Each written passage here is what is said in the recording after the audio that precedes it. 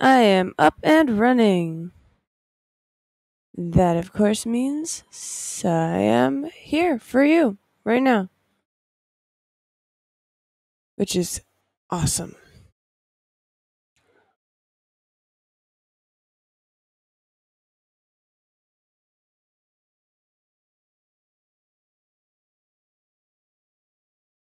Now, I say I'm going to be on at 10, but I tend to be on a little bit early because I always think it's better to be early than to be late. So, welcome, welcome, welcome, everybody. At the moment, I am just sort of waiting for 10 o'clock to roll around before I actively get started. But today is Art Stream Day, which means, of course, that I am doing art mostly on the Procreate because I don't have a table yet. But when I get a table, I will be doing physical art as well, which is going to be fun. Uh, we got two minutes to go, so I guess I'll talk sort of about my plan today. Um, I was gonna work on doing some color work, I wanted to work in pastels, and I only have one character that fits that, and their name is Dharmuiel. Uh, so my darling is going to get some art today. I sort of drew a little bit of a sketch yesterday, so this is going to be me inking and coloring in Procreate because that's fun. But it also means you guys get to see my PNG tuber moving again for those of you who weren't here last time, like you, Duck. Uh, what else? What else? Other than that, everybody please be nice. You're going to maybe notice my uh I got new headphones, so my everything is nicer. It's very nice. These headphones are really nice. But I think it's about time to get started. Let's get into it, shall we? So it's me. I am ready to get started.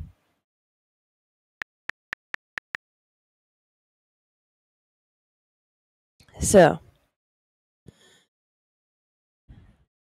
first things first, let's make a new canvas so that I can start getting right into it. Of course, I immediately back out. Uh, let's take a photo.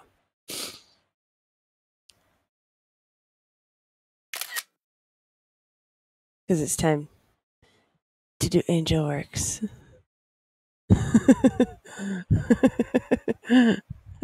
oh no, Duck is going to mess with me. That's going to be terrible. I do not love an audience interaction. Oh no, I'm so afraid. so, yes.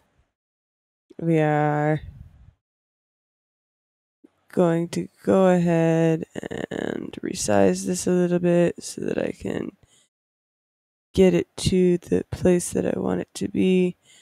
Basically, I'm making this a little bit big so that I can add more detail to the wings on the back that I didn't have. yes, so it's time to do art. The best time. Um, so thank you very much, stealthy void person. I need to fix this for a second. So, what? Mainly because I noticed that I'm not as reactive as I should be. Now I am as reactive as I should be.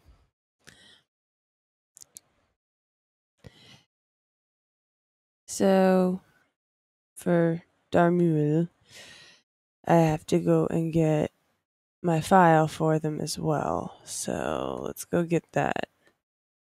Mainly just for the colors, which means you guys get to see my terrible naming schemes or best naming schemes. You get to decide that, I guess. There we are. And you, I think. Yes. The tiny, tiny sprite that I bought a long time ago.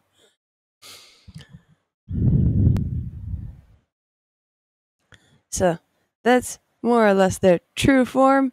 And then I'm doing a more humanoid version because they are an angel of creature comforts, and comfort often means being on people's levels.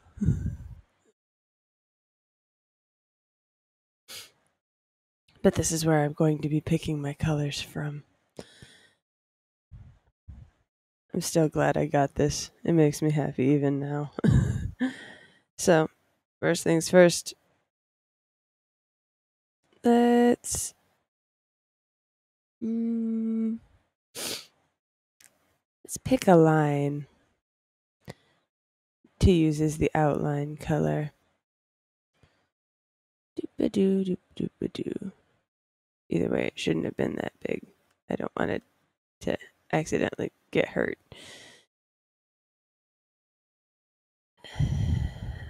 Let's go with that one.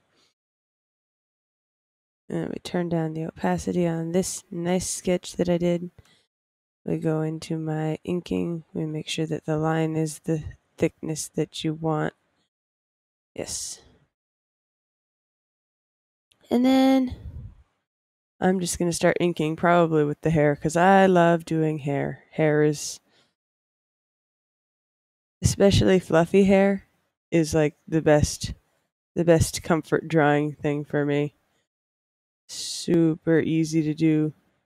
Just constantly swoops and foofs and all those other good onomatopoeias.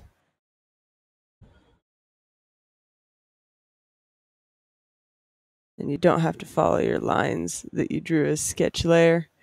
In fact, if you're just doing fluffy stuff like this, I highly encourage you to switch it up because you'll get better fluffiness the second time around following your lines with a more free hand than you will if you just try and trace every line that you did initially. Or at least that's what I've found for me. Is you get fluffier lines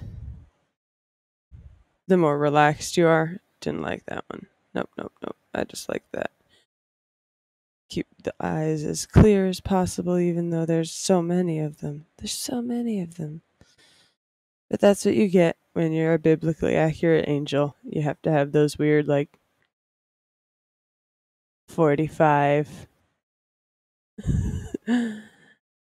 big glasses with the 80, 80 lenses on them. That would be hilarious to me if somebody had a character that had that was a biblically accurate angel, but they had to have glasses. So they had like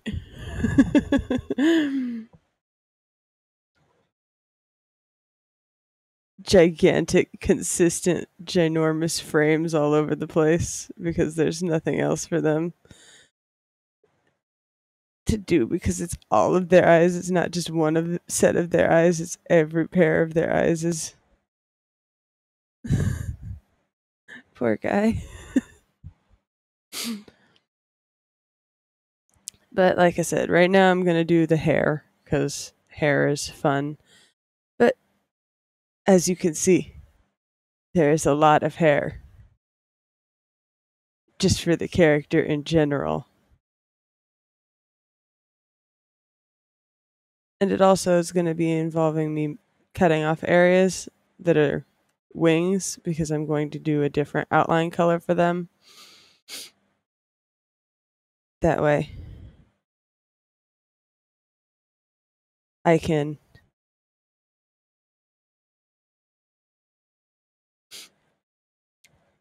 keep track of where I'm putting the correct colors, even though the color is white. I'm going to be using chromatic tones on it, hopefully. And I want to make sure they're separate so that I can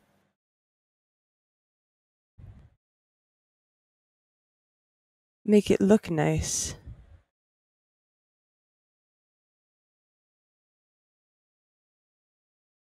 And different. They are an angel after all. I'm not too worried about following the clothing outline because the clothes are going to be on a separate layer and that layer is going to be on top of everything. So theoretically, I could do that with the wings too. Eh, yeah, I probably should do that. That way I can just have everything on a separate layer.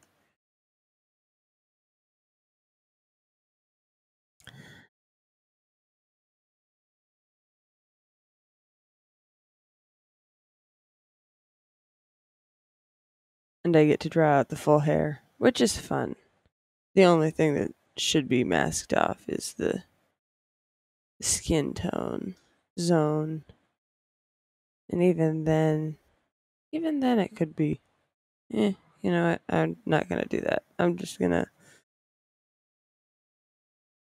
let it be wild and free.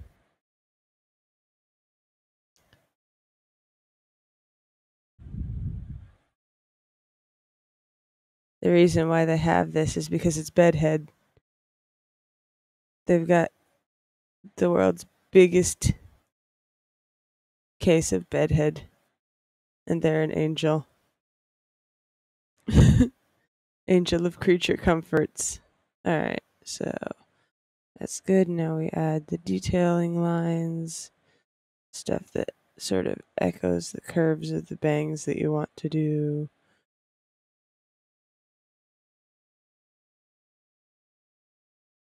Add more spots for fluffiness. You can do this in any visible area that you're going to use, or you can just do it and then hide it all invisible like on the other layers.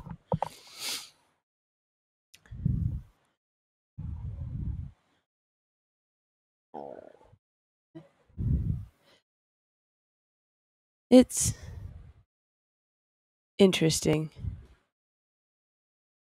doing art like this, mainly because it's hard to figure out where you want to talk about things. But at the same time, you just want to do the art and let the work speak for itself. But it's more fun for the audience when they get involved, or at least that's what I've heard. Or at least what I think which is why I'm excited for the stand as well because it means that um means that I don't just have to do digital art. I can do physical art as well, where you'll see me like yoinking out colored pencils and specifically India ink markers because I like those better than alcohol ink markers for some reason, probably color quality.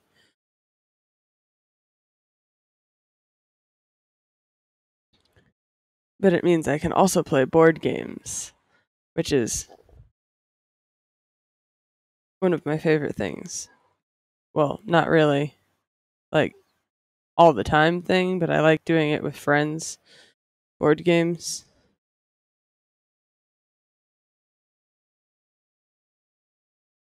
I especially like doing it with people who who have never played the game before.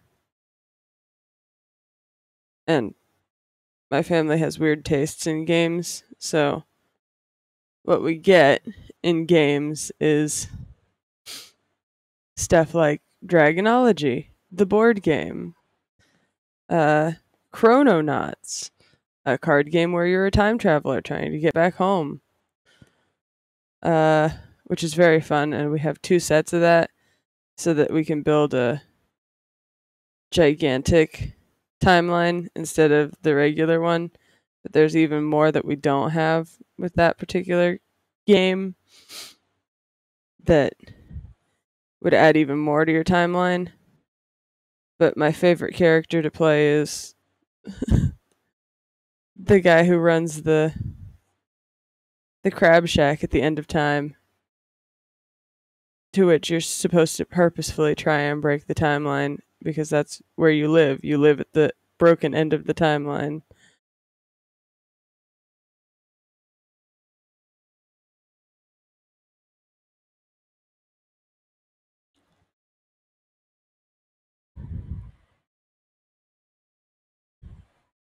Yes.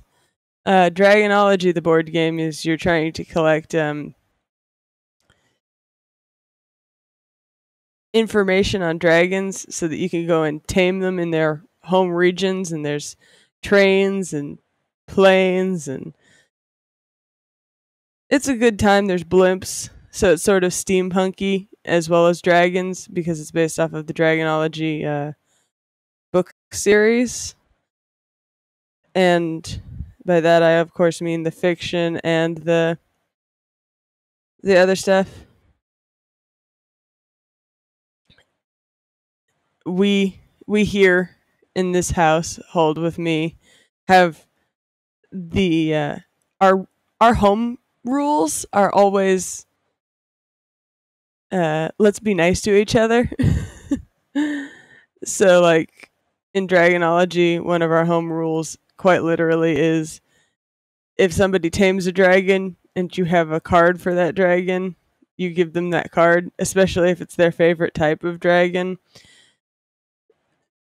It's it's very nice. We don't use like the swoop cards or the steal the dragon cards that are included in the game. We just don't like that. We prefer our games to be a little bit more cooperative. But um you're trying to basically earn the dragon's respect enough to go to Dragon Island. Yes, exactly, Iron Duck. Uh, but they have like little mini figurines that are plasticky. The only character that we don't like to play as, yes, the Dragon D20. I forgot about that. That's the game that has a d20 and you're rolling the d20 and the 20 the critical success is a dragon's eye which is really cool to look at and it's really fun when you roll that so like good dice but we just recently got our kickstarter version of um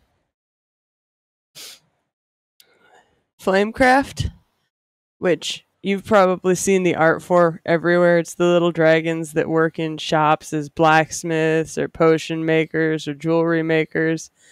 This game is about being basically the manager of all of those types of dragons and trying to make the town the best town it could possibly be for both dragons and humans. And you're trying the the goal of the game, the success factor of the game is how much love did you earn at the end? How much reputation did you earn? How good of a reputation do you have? Which is very fun. And we got the special ones, which means we have the Kickstarter exclusive cards and shops but we also have uh, the little pink celebration dragons, which is what I usually play as because they're they're just cute, like me. ah, right. I forgot to introduce myself. I am Star Sailor Seven. I go by Star or Seven or whatever you guys want to call me, and I chit chat and do art and other things. All right, let's see where we went wrong. Okay, so there's a whole line there that I just didn't do for some reason.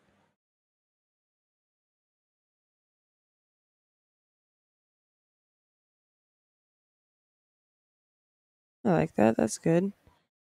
And we do this and it's still wrong, at least over here. Where is it?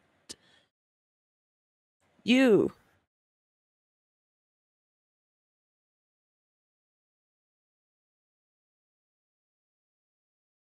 Hey. Normally I don't get the the ceiling right on the first time. Yay! Hello, Coop. Glad to see you made it. Glad to see you made it in one piece.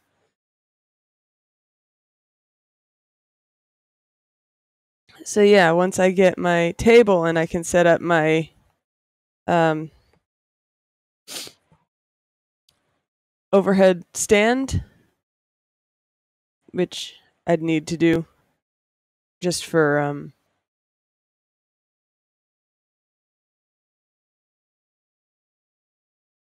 birds completely gone just for a board game setting or for physical traditional drawing setting the best thing would be for me to um have that table before I did streams like that. But that table should be getting here soon, so we'll see how long that takes in reality. So there we go with the hair, at least for that. And then we could do the flowers next, or we could do. Yeah, I want to do the flowers next. Flowers cute. Flowers also mean I get to be super saturated. Eh. Just. Oops. anyway like I was saying, those are some of our favorite board games here in this particular household. So much so that we bought them uh, or kickstarted them, as the case may be. What are some of you guys' favorite board games?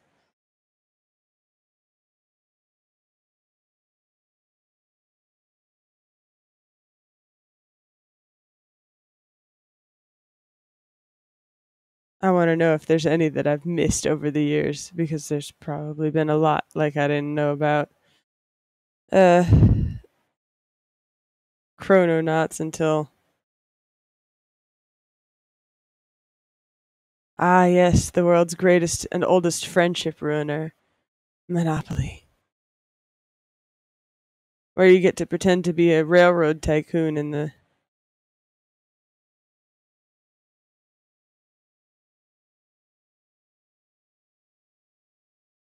1900s.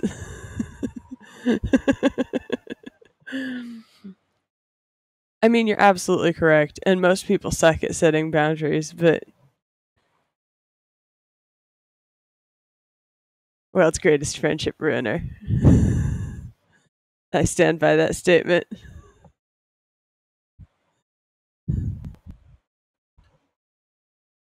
I suppose that's also fair, although I've never had that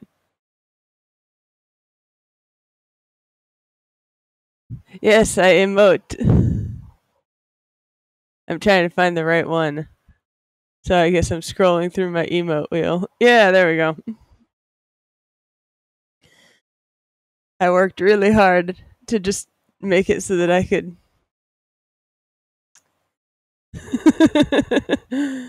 I like Coop and use reactions. Coop was like, oh, wait, you emote? And then you're like, oh, there's emotes!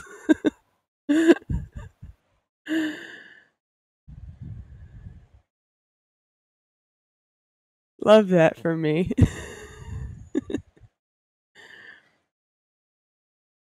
I forgot that there are actual colors in here that I can use.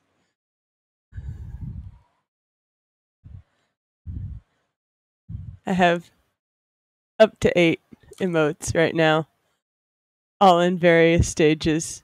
My favorites are five and one and six. But five is one of my favorites because I'm, yeah! I have them hotkeyed to different numbers. Eventually I'll have to change that, but.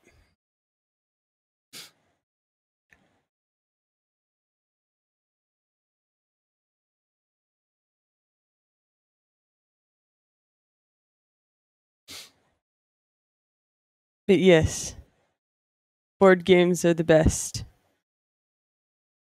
Especially when you play them with people who have never played said board games before in their life. And you're just sitting there like, I know all the rules, and you know none of them. And yet, and yet.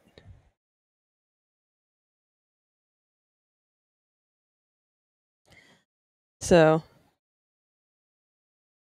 my personal favorite uh, is actually Chrononauts here at the household.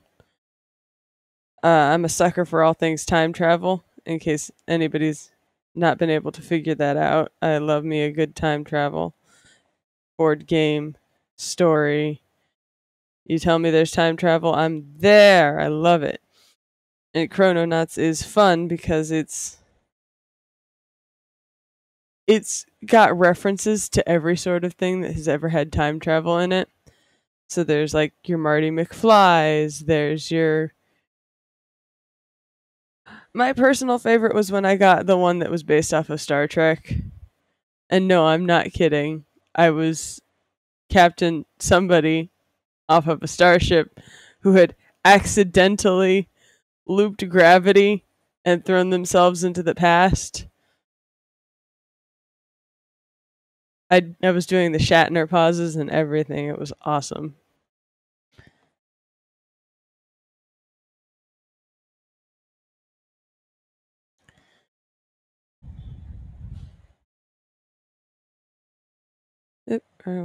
I need this color.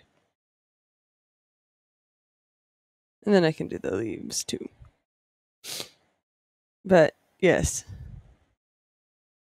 Love me a good time travel game. But most of them don't necessarily take into the account of Chrononauts is fun because it takes into account all of these like little things. Like there are events that you can't change. You just can't. That's part of the game. They're called linchpin events. And they're just events in history that you can't change. But there are also things that you can change that have a bigger impact than you'd think they would. Like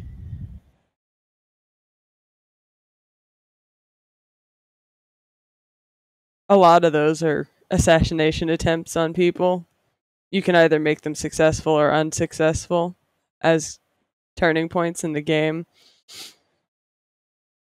And one of my favorites to flip for no good reason is um, the attempted assassination of uh, the assassination actually of the Beatles singer, I believe. I don't remember John Lennon. Yeah, that one but you can also like turn back for Martin Luther King Jr. and JFK. So it's like everybody gets no assassination attempt. But in the game, that of course lets you access the timeline that gives you a Beatles album that doesn't actually exist. like their reunion album and you can either go home by changing your time stream to match what your character's timeline is affected by, or by collecting things, including like things that shouldn't have existed, like the Beatles album, or collecting forgeries of the Mona Lisa it's very funny. And it's often like just play your your game close to it's a bluffing game on top of being a game about time travel which is really hard when, to do when you're laughing it can be and especially the way we play it which is like ah yes we're going with the full on timeline, by the way. We're going with the timeline that they say you shouldn't do. We're going with every single possible outcome on the board. No, we will not stop. It's it's really really interesting. I'll see if I can show you guys a card here cuz the character cards are the best. But so are the missions. Like one of the missions is to bring back delicacies to this time travel dinner party. Like that's what you were hired to do. You were hired to bring food to a dinner party that's happening for time travelers. But they want you to get stuff from like timelines that don't exist. Like there's um woolly mammoth steak that they want you to get. There's cake from the time that Germany. I'll try and slow down. You're right. I do tend to be spinning this thing very fast. Nobody can see really what I'm doing if I go too fast.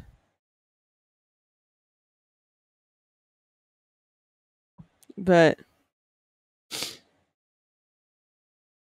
yeah, that's the that's the fun of the game is the absolute insanity that is time travelers trying to bluff and steal each other's objects because multiple objects are for multiple missions.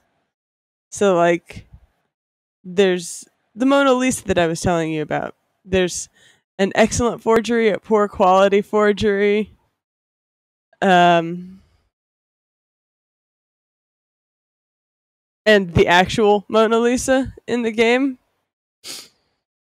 One of the missions requires you to have the best copy of the fo- Mona Lisa, which means that if none of the other Mona Lisas are in play, the terrible copy of the Mona Lisa, which is like on ruled notebook paper and has a mustache, means you succeeded in that mission. But it, if somebody else has the mission that they're trying to save or preserve art pieces from being stolen, they're also after the same good quality Mona Lisa that you are. So, like the highest quality Mona Lisa in the game, which makes it incredibly difficult to like hold on to objects, especially since you're not supposed to place them face down. You're supposed to leave them up so that everybody can see what you have. But this does not refer to the gadgets because you can have gadgets as well. You're not you can show those if you want to, but they're not like the objects that you have to say that you have. There's also some theoretical objects in the game that are like dang, I wish I could time travel and bring those actually here, including um the game calls a cure for cancer. But it's it looks like a generic bottle of pills, which I think is the joke because it looks like it's become so commonplace that it's it's just a thing you can go pick up the pills at the drugstore. But it's a very fun game and it is very chaotic, especially when you're trying to. No, I need that linchpin flipped this way. Come on. I did that for a reason. I need this. Yeah, well, I need it this way for this. But you're not really saying what you actually need it for. It's it's very funny. And the fact that the fact remains that there is the distinct possibility it's happened to us when we've played it before that you can accidentally send your competitors home. Uh, this has happened to me and my sister. We sent our our mother, who was playing with us, back to her timeline. by trying to get home ourselves. We were just playing quietly. We were just doing everything that we could do to get back home. And then she's like, Hey, wait a second. Oh, wait, I'm back home. and we went, What? No. It's one of my favorite games. But then again, all the games that we have in the house that are board games, we kept for a reason. So all of them have their own unique charms and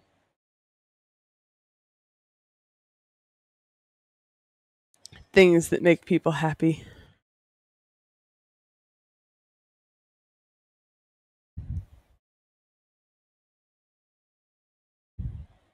But yeah, we seem to only really collect odd board games. A board game that I'd like to have, that I don't have, that I played like three times, um, is called. Goodness gracious, I can't remember the full title, but it's like the horror at the house on the hill. It's a sort of spooky board game but not really. It's an exploration game, and I can go over the rules fairly quickly because it's interesting in the way that it executes its horror movie tropes. Which basically is you and your friends are exploring an old haunted mansion. You get locked in immediately upon entering.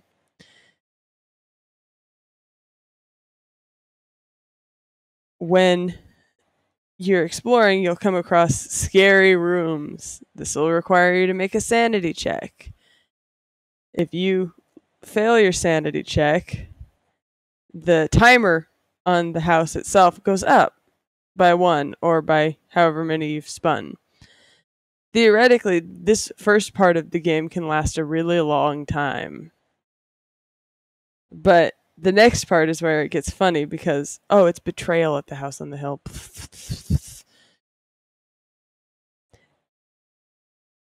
is because this next part is the betrayal.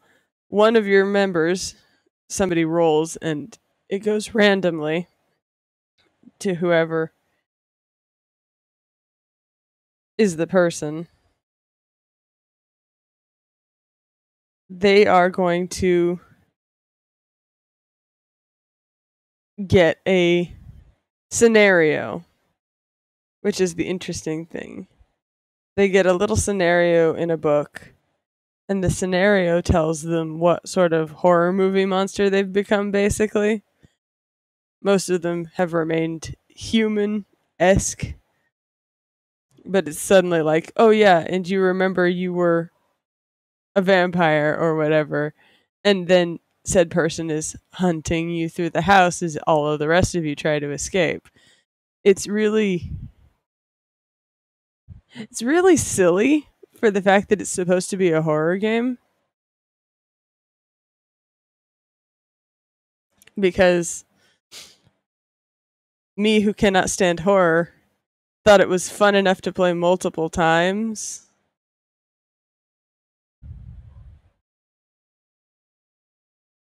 because of the aspect. I never got to be the bad guy though. I was upset by that.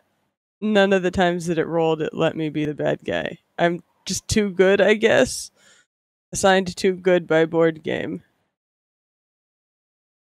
Naturally a good person. But I wanted to be evil. Let me be evil a little bit, please, as a treat, please. No, no evil for me. But yeah, it's it plays with all of the scary house tropes in a way that isn't really scary anymore. But it also still feels like one of those horror movies that you could just play. But then again, I'm also just a fan of collecting weird movies and TV shows and Yes, now I have to ask this. What's the weirdest TV show you guys have ever watched? Like the strangest. Like you didn't really necessarily know what was going on, but you enjoyed it. Or a show that's just just weird.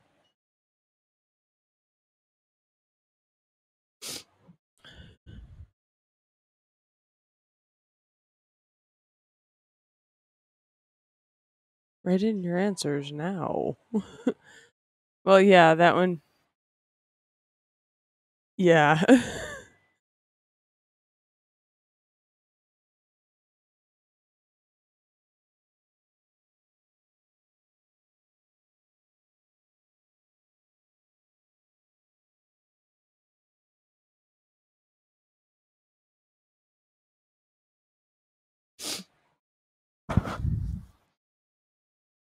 Going with a.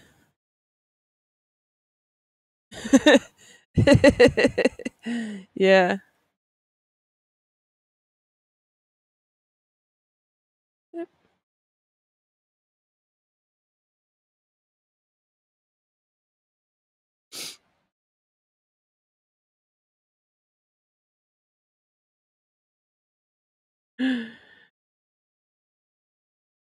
Yes, Miraculous Ladybug is a disappointment of writing, is what I would say.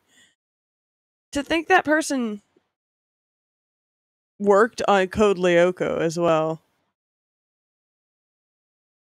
He he designed the Catboy for Code Lyoko as well.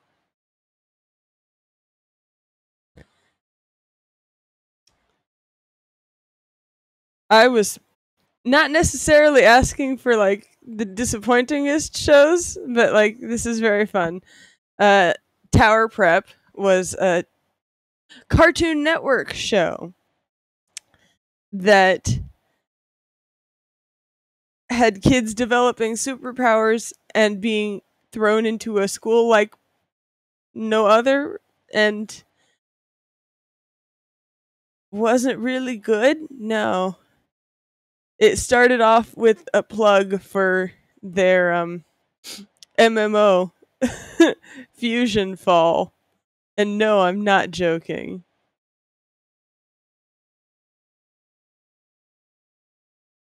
But it was actually rather interesting because the whole point of the show was these kids trying to escape the school. Why did their parents put them in the school? Did their parents put them in the school? Who's running this school? etc. It ran at the same time as a show called Unnatural History. Both of them were canceled, never to be seen again. Miraculous Ladybug. um, is a miraculous ladybug. You you kind of either love it or you hate it. If you hate it, I suggest you check out the the fandom the fandom has some really cool like thought processes where they've fixed everything basically. Um, as for what eclectic exclamations is talking about, yeah, culture shock is a thing. And I have experienced it multiple times watching anime and stuff from China. I have no idea what's going on at any given point during the show. Cinderella Chef specifically is an isekai of a chef who was a TV chef who got thrown into ancient China, but she liked to use ancient tools anyway. That that's what she got famous for was using ancient cooking tools to cook meals. So she gets thrown back in time and oh, look, her niche hobby, which is cooking with ancient tools, is now very useful. But you can only watch like the seventh season in English. None of the first seasons. Nope. You don't get to have any introduction on who the characters are, how she got here, what she's done. Nope. You just get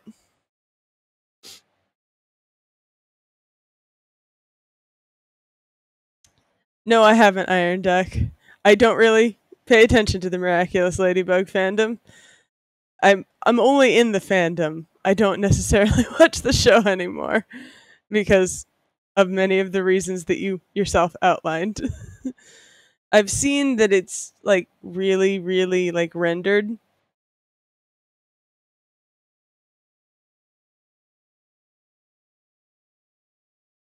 Yeah. Yeah, yeah, yeah. Uh personally, one of my favorite uh fandom creations is the bakery enemy AU on Tumblr. I don't know if you've ever seen it, Iron Duck, but it's basically what if Marinette and Adrien had never met as civilians? Oh dang, I have to talk about Dragon Blade now. yeah, you have read it. Dragon Blade. Oh god. Give me a second to have my oh god, that movie. Dragon Blade is a Jackie Chan movie. A Jackie Chan movie with John Cusack in it. A Jackie Chan movie with John Cusack in it about ancient China and has Romans in it. Dragon Blade is a movie. There's a lot in it. I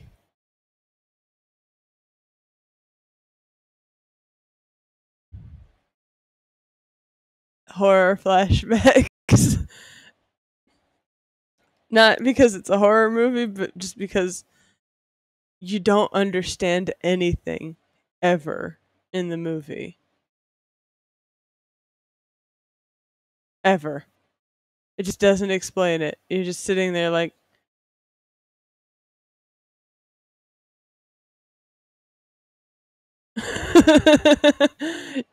I love the movie, but it's so hard to explain. you want to take a crack at it, Fairy? Go ahead, but I don't know how to explain it. Um, I was actually thinking about the weird television shows that me and my family have watched. Yeah, that's that's sort of what I was trying to get at. It's a really good movie for both like the martial arts aspects of it and it's also really weird because it's 100% a folklore that we don't have in America. That's what Dragon Blade is. I think we watched it originally on Netflix, but I don't know if it's still there.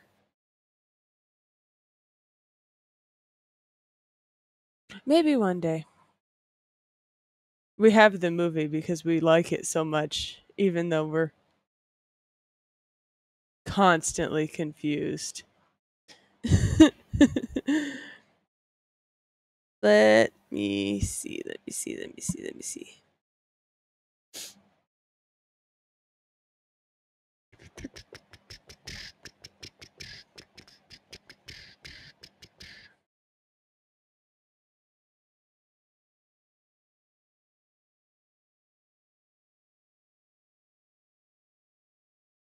Okay. I was actually my my initial question was more accurately trying to ask um does anybody have any weird TV that they really really liked? They just are like, "Yeah, watch this. This is a really good show. I promise. Please, I promise it's a good show. Please. Please, please believe me. It's a good show. I promise." uh, because I have several recommendations in that area, uh, starting with Warehouse 13 and The Librarians. Yeah, the new Legends of Monkey on Netflix. Also one of those. It's it's really weird. Really, really weird. But it's good, I promise. I promise it's good. Please just watch it. It's good, I promise.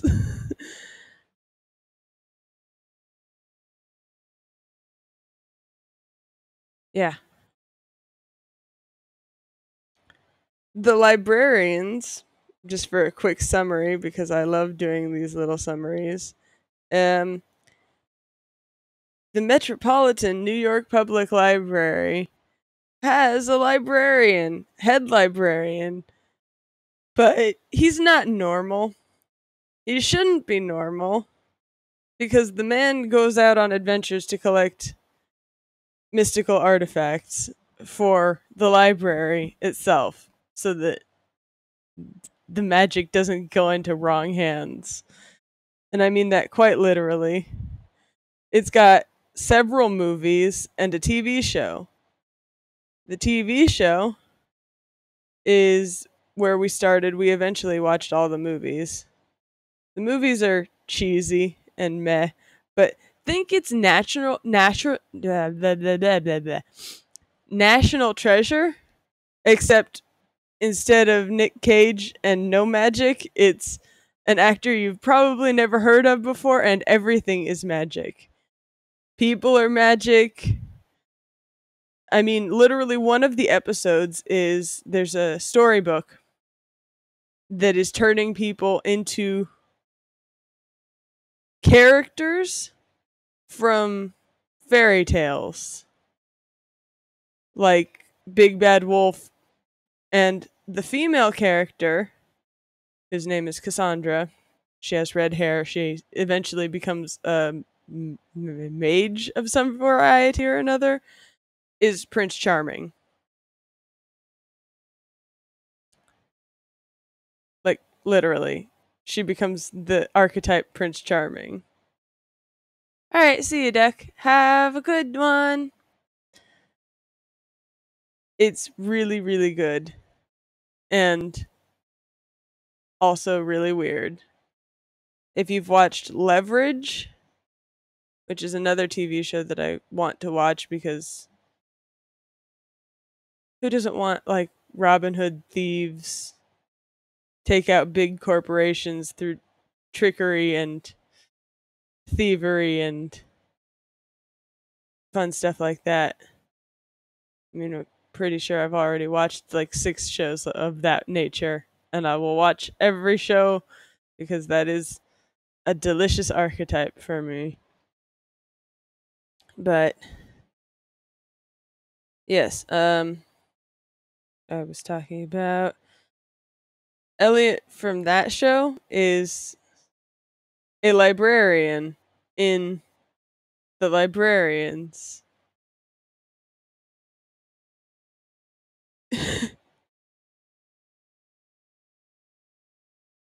His name is Stone, like Victor Stone.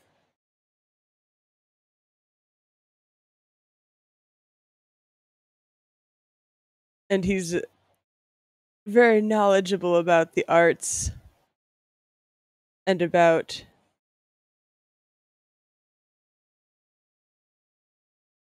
a lot of stuff, but he downplays his intelligence because his family made him feel bad for it.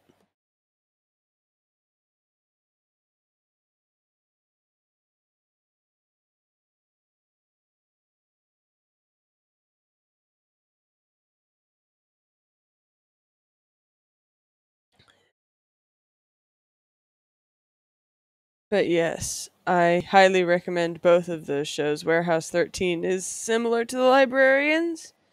It was a sci fi original show for the time that it ran. And it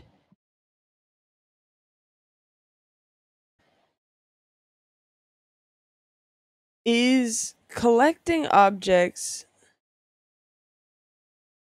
You'll see I have a running theme at the moment, at least.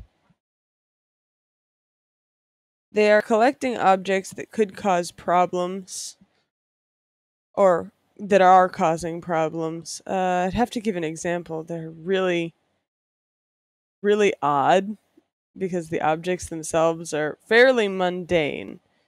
That's the whole point of it. Um,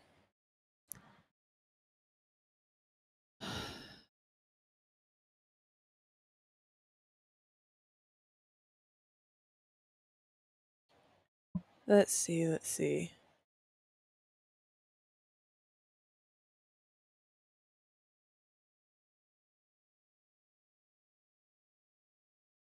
The best example that I could come up with off the top of my head is um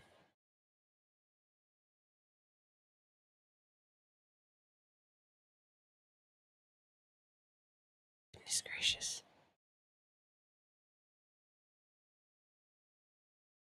Can't really think of any off the top of my head at the moment. None that really encapsulate the whole like theme and purpose that I can explain readily.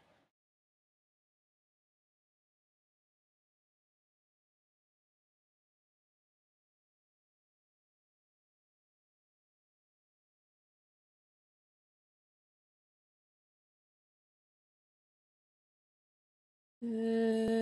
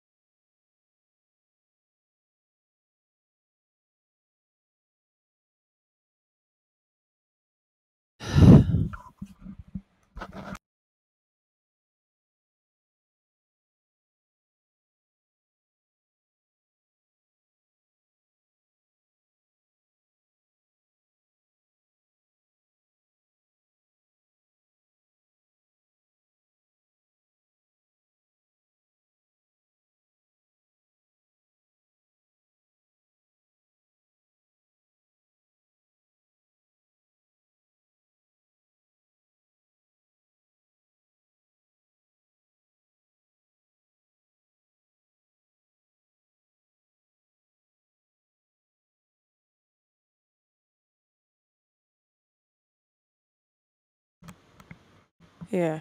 Okay, there we go. I guess I just pushed a button, which put me on mute.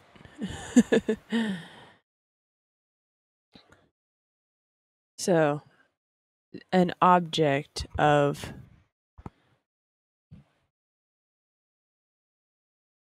from Warehouse 13 that expands upon the universe. I guess I would have to say the best example of it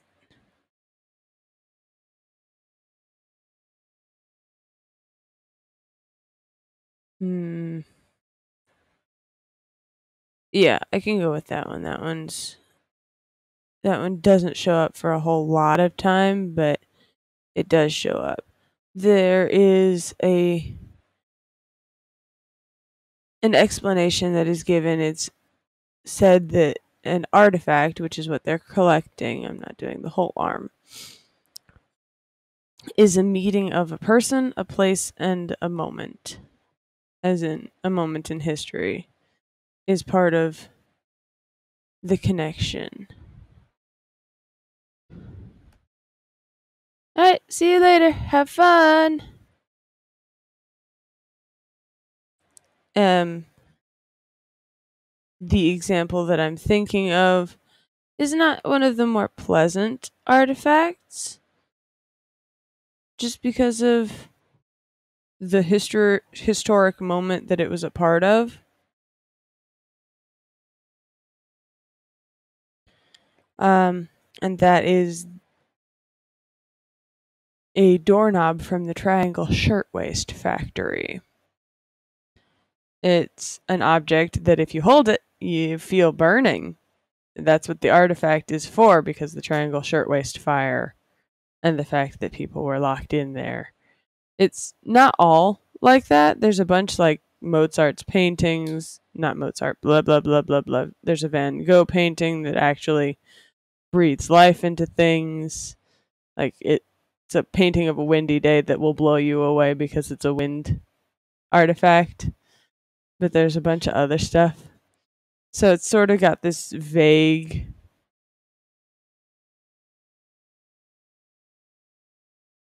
feeling to it. That I would say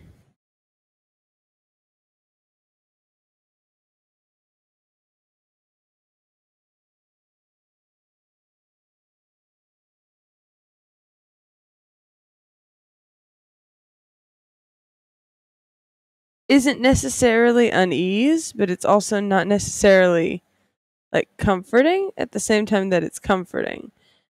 There's a whole bunch of artifacts and they all cover the range of helpful, hurtful, healing, but everything comes at a price. There's always a downside to using an artifact. Or at least there's almost always a downside to using an artifact.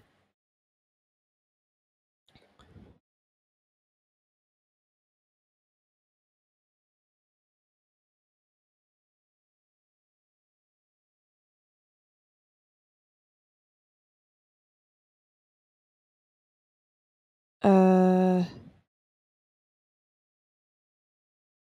but those are often like my favorite parts of the show the artifacts themselves because they're just like mundane objects.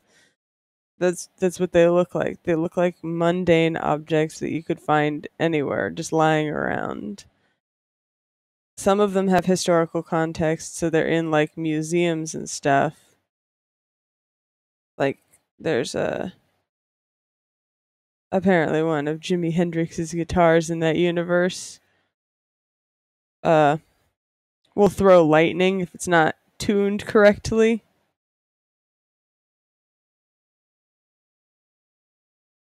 Not for any other reason than it wants to. Which is the fun part. The artifacts themselves have a sort of sentience. They're they are in fact characters involved in the story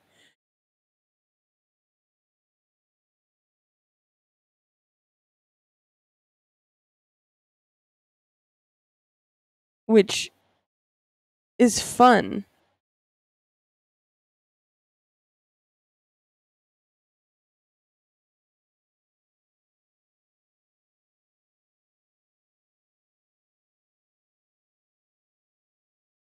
I would almost say that the artifacts themselves are the stars of the show. Just because there's so much to do with them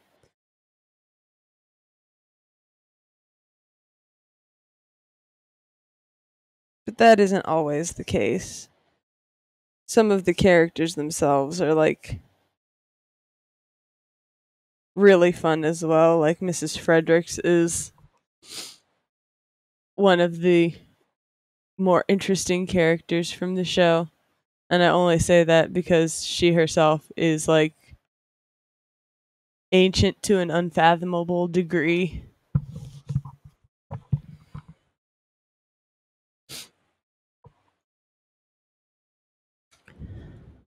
And we only learn that when she starts looking for a successor. We're doing good so far. We're doing good so far. That's good.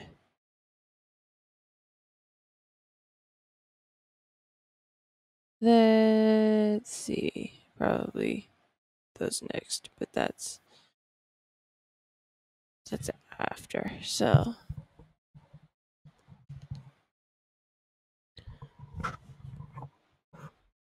So we're doing good. Yep, yep, yep, yep, yep.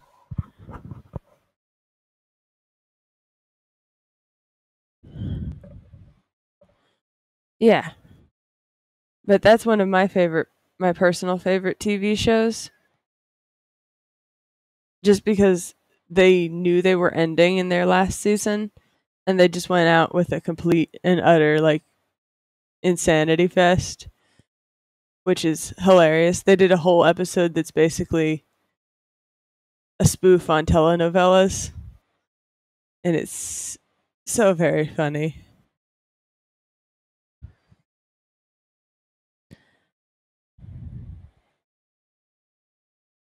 Uh, purple.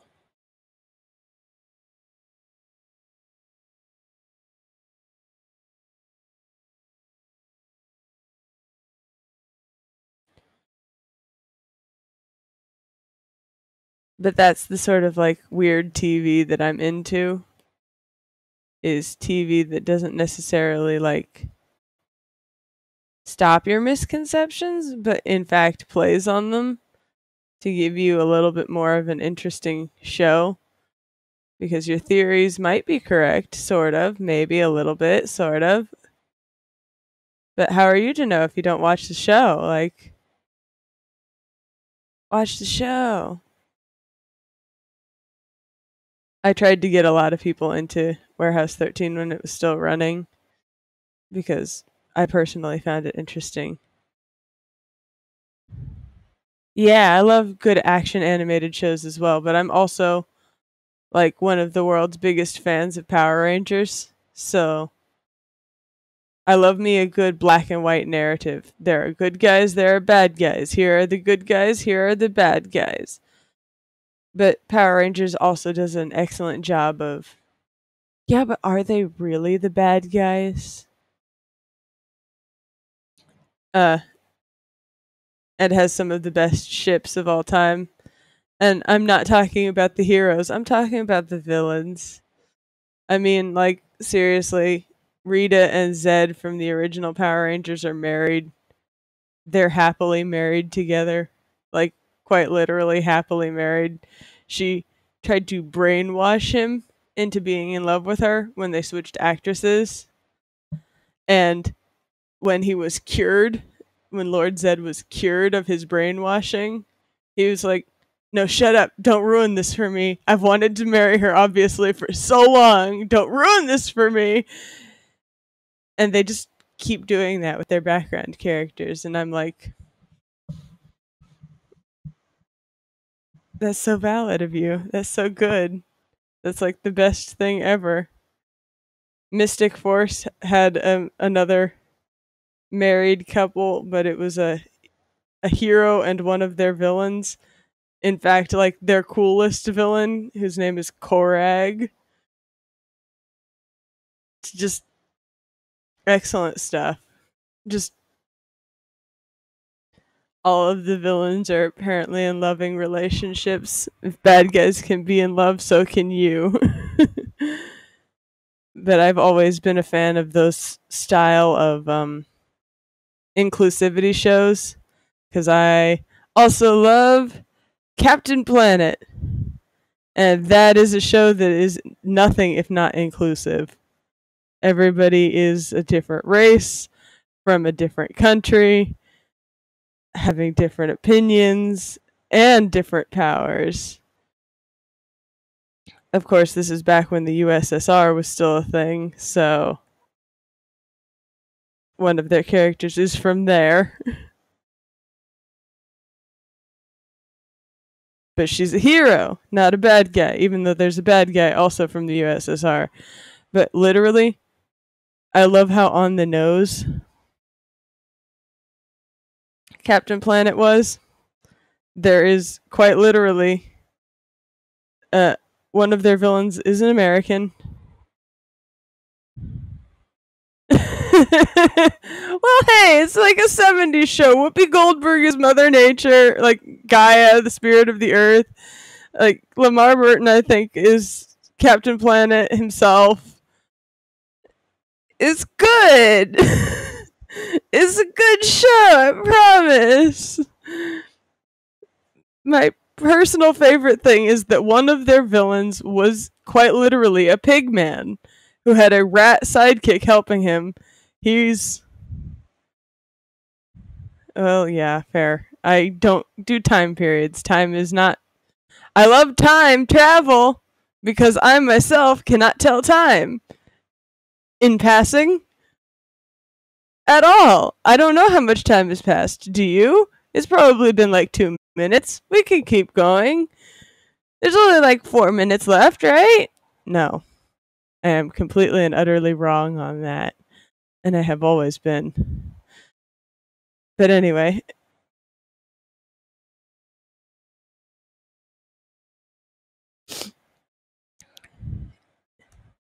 Yeah. Uh one of their villains was a pig man who had a rat as his helper and he was the American villain, one of them. Technically, they also had literally a villain named Duke Nukem who was a man made of radioactive materials.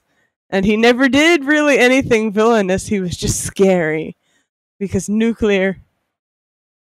Well, no, that's not Looten Plunder, Cassie.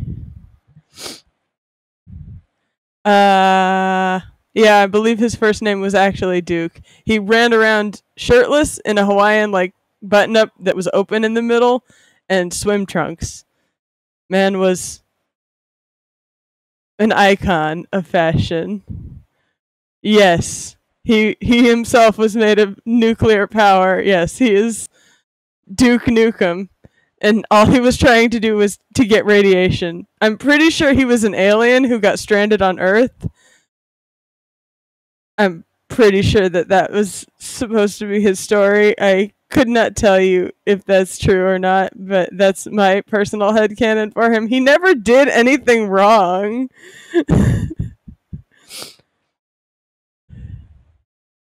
Dude was just scary. Nuclear energy. Ooh, scary. you know? But there was literally a billionaire called Looten Plunder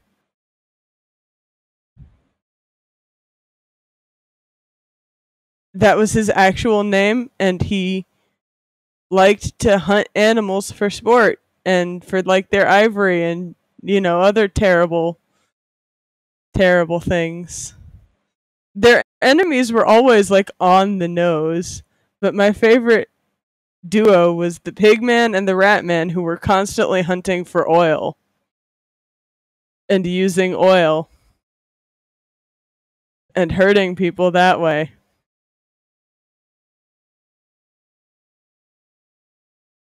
I'm guessing you looked it up, but yes. Hoggish Greedly. And his helper, the tiny little rat man. Quite literally. Are absolutely ridiculous. Best duo.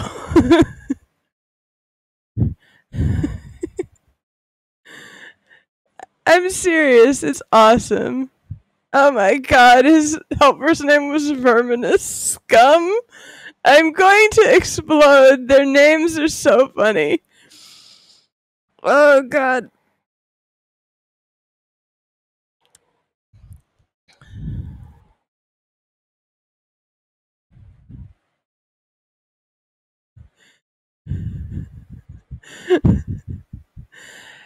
He literally oinks in the show, so like he is a pig man. But they didn't want to like give him too much fantasy features because they this is sort of a fantasy show. Sort of. oh no, don't look at Evil Planet. No, no, Captain Pollution or whatever the heck his name was. They they made they made a mean version of Captain Planet. It's so dumb. So dumb. God, so dumb. but yes.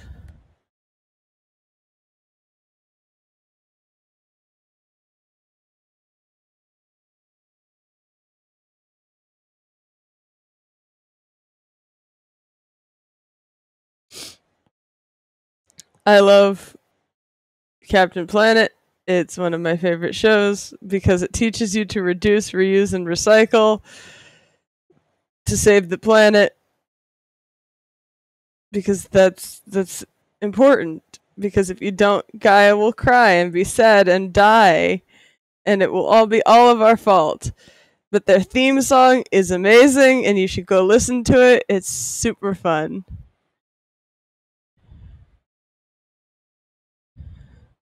Yeah. Either that or he's been completely forgotten by time. I'm pretty sure nobody knows about him. And this is before the era of internet. I agree with you, Coop, but he may have not been capitalized on because this is. This is. Yeah, he's literally like a Tumblr sexy man. Like, absolutely 100% he fits into the category of wet, pathetic rat man. Statistically, that somebody is me, and I don't want to make fan art like that. I've looked up Captain Planet on Tumblr. There's nothing. There's like nothing. Uh, it's just like plus anima. yeah, yeah, but has that person statistically shared it? Probably not. Not because they they don't want to, but they just haven't had the time or the energy or the willingness to try and explain themselves to people on the internet.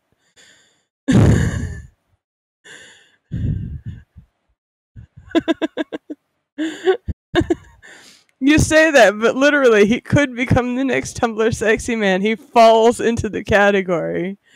He falls like directly into it. Him or and Plunder. And Plunder's supposed to be their sexy man, but man's not sexy. He's evil.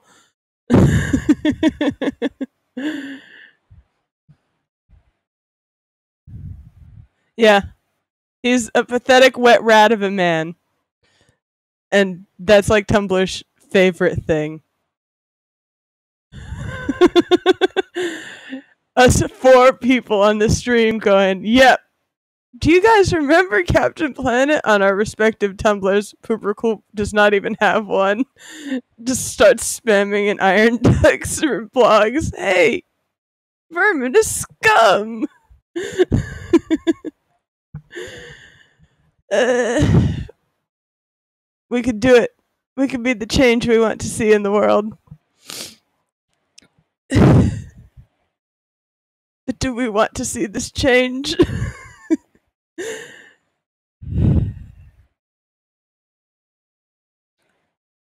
uh, you guys are killing me. This is so funny. uh, yes. Uh, where was I? All of his villains are really funny.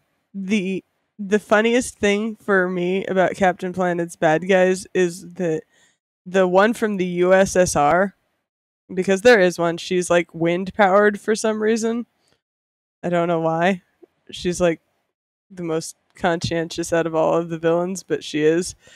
Uh, looks almost exactly like. It's probably because their USSR champion of champion of recycling, aka Planeteer, which you can be one too, because saving our planet is the thing to do.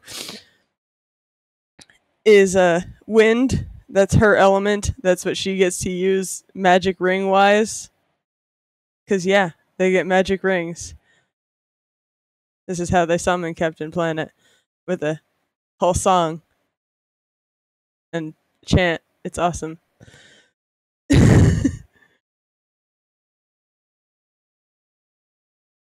but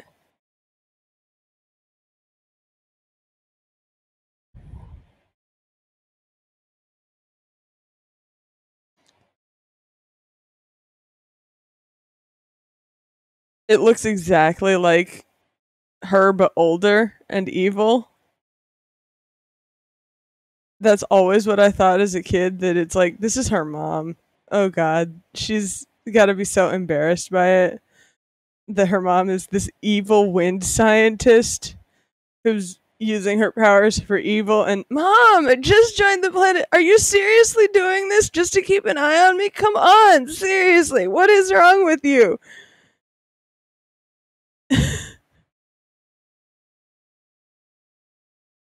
It's just like one of those absolutely flabbergasting things to me character design wise like why would why would you mimic her design like that. But yeah, if you haven't ever heard the theme song for Captain Planet, go go listen to it. I'll be right here waiting for you to come back and telling me how much of a banger it is because it's awesome. It's so it's so much part of its time period, but at the same time the song itself is so good.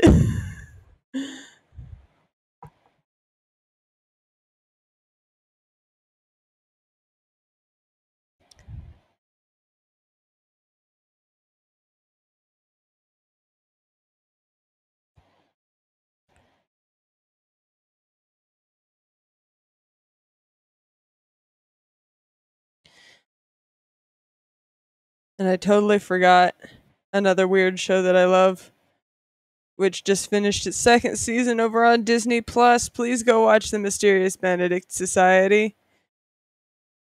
It's so weird and so worth watching. This is basically welcome to me promoting my favorite TV shows. I don't. I should get one. I should get some sort of patch. I should just like superimpose it over my face in my PNG tuber. Be a planeteer! I'm a planeteer! Come on, join me! uh, it's so good.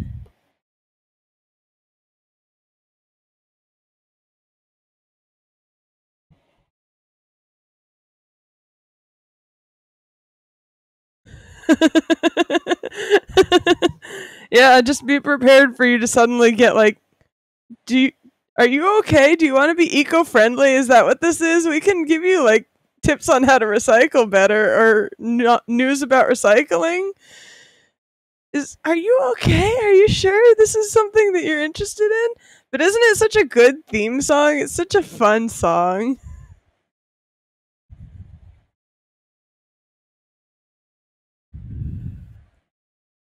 Earth, fire, wind, water, heart, go planet! By your powers combined, I am Captain Planet! I, I can hear the theme song in my own head even without playing it because I've listened to it so much. I own the first season on DVD. Guess what the box is? Recyclable cardboard.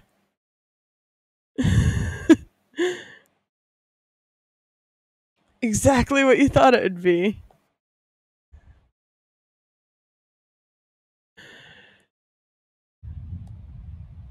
Exactly what you thought it would be. Exactly what everybody thought it would be. Recyclable cardboard.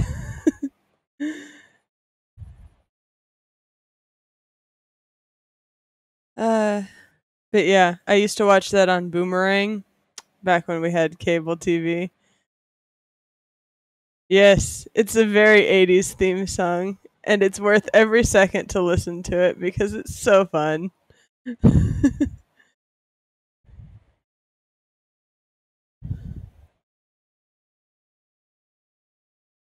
it deserves more recognition than what it gets. It's a very good superhero show.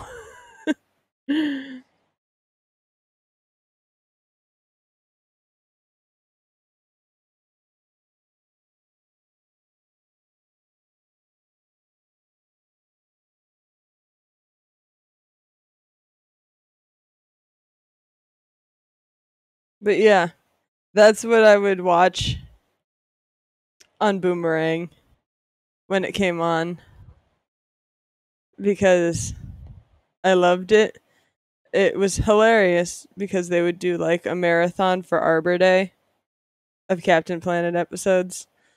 But I don't have all the seasons. I only just have the first one because the first one is the only one that they're selling and I don't know if there's more seasons than this just one. But they still sell Planeteer t-shirts and stuff cuz you can be at Planeteer too.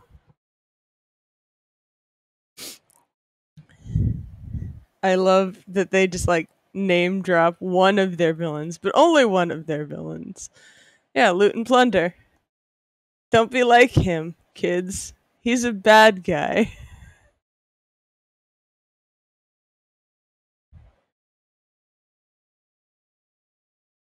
Yeah, and of course, now that we're going down the nostalgia lane, we have to talk about Jetix and all of the shows on Jetix. Because Jetix, man. That's where that's where I saw so many things. Not even in like it was Jetix is where we watched Power Rangers. Jetix is also home to about a dozen or so initial tries for America to like anime, which included like Naruto at the time. Because everybody will like Naruto, right? Uh, I still don't. Not because I don't think it's got like good narrative or anything, but friendship trauma is a part of that for me now. One of my people I liked as a friend and a person.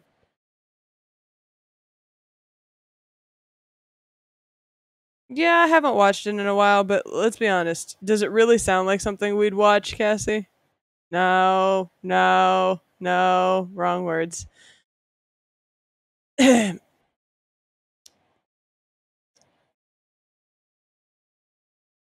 it doesn't.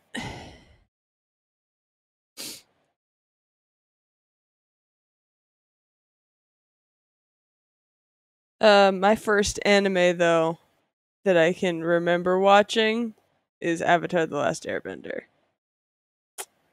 Because it is one, by all accounts, here in my home where I can state my opinions. Anime Avatar The Last Airbender is an anime. 100%. 100%. It's an anime.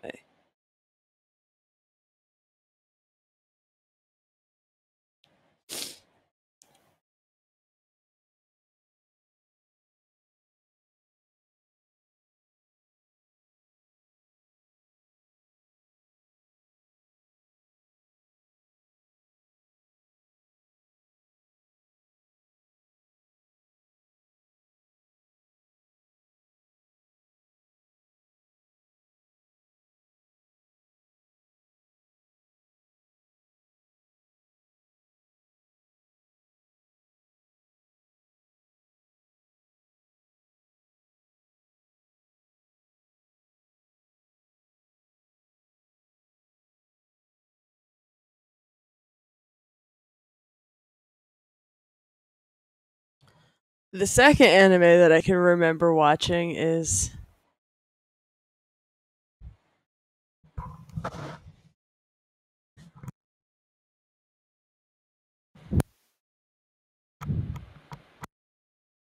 be then more people will be watching me.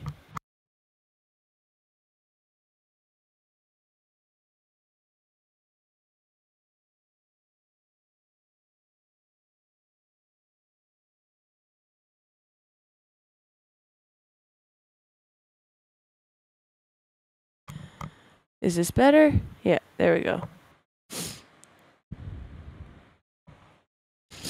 Once again, I keep using the the wrong the wrong button. Keep touching the button on my new headphones that apparently will mute me or turn off my microphone. Which is interesting.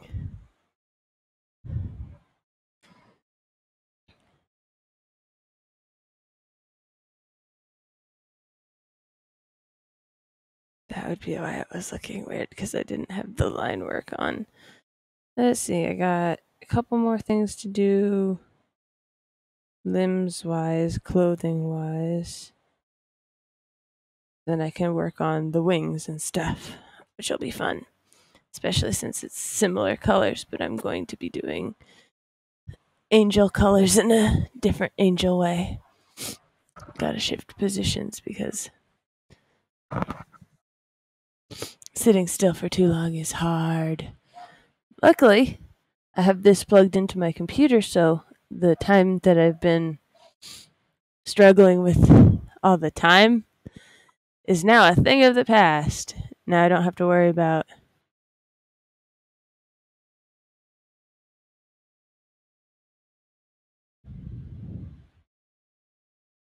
stuff like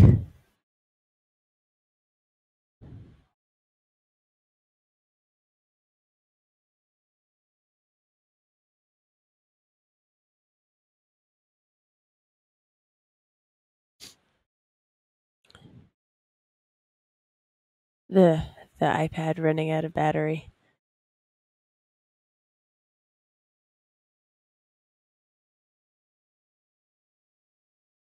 But yeah. So I totally understand the love of comic book shows. That is my weird comic book show. I'm pretty sure it did have a comic book actually as well. If it didn't, I'm also not surprised by that. It's kind of on the nose and basically very pointedly remarking about corporations and people who aren't taking care of the planet. So,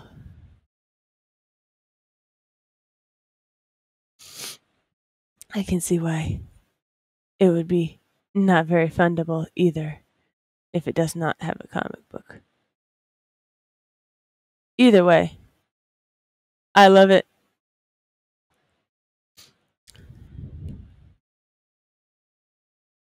Uh, but yes, we were talking about Jetix. Jetix was, I don't necessarily remember. I think it was Disney. I think this was, yeah, Disney trying their hand at anime in like early 2000s and stuff. Because that's when I grew up. But my personal I always thought that the shows on Jetix were were far more interesting than what was regularly on animated TV because they had really weird plot lines and stories. So, like I said, yeah, there was definitely Naruto. But there was also stuff like Super Robot Monkey Team, Hyperforce, Go.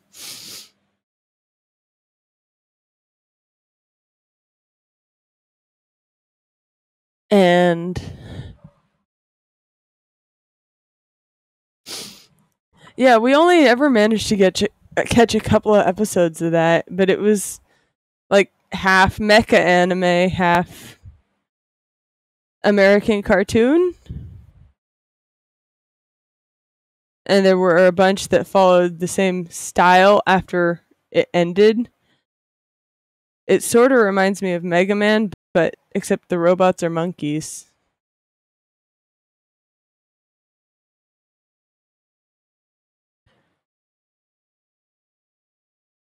Some of them get turned to evil at some point. I honestly don't remember a whole lot about it. I was mostly there for Power Rangers. Specifically, the Disney Channel era of Power Rangers, which I think get a bad rap most people don't tend to like those very much for some reason, but I think they get a bad rep. They have fun stories and they have an intercontinuity that modern Power Rangers wishes they had. They've sort of tried to take into that effect, but they just don't do it as well, in my opinion.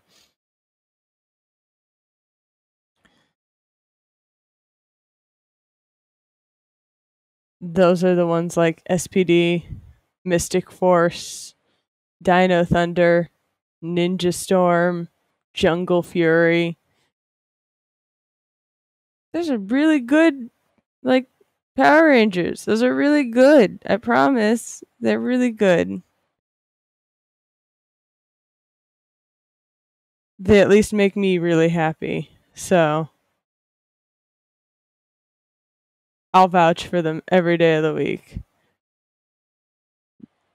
But then of course, once you're once that got shut down because it did because it wasn't making enough money, so they stopped using the label Jetix and they just sort of stopped doing that at all. Um Yeah, it makes me sad that I never went to Disney during that era of stuff because apparently you could you could see the Power Rangers in the Disney parade. and I was like, "No, come on, that would have been really sick." No. For young me, that would have been the best. But Alas, it was not to be.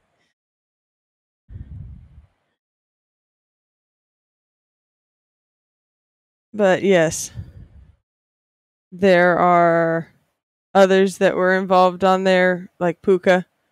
Pucca was basically a very silly little show about a girl trying to get her crush to be nice to her and not run away from her, but they're all ninjas, so they were all like insanely tricked out, capable of doing really cool feats of physicality and lots of parkour. It was it was a fun watch. But they were only like 15 minutes each. Still a good watch though.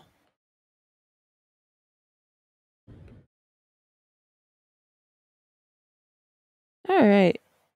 Close done.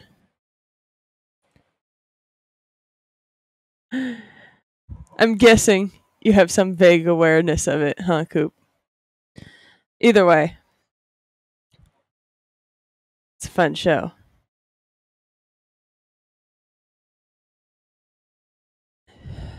With that,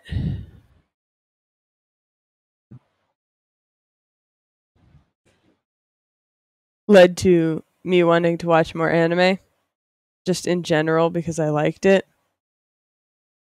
Um which for the longest time you just couldn't find any anime.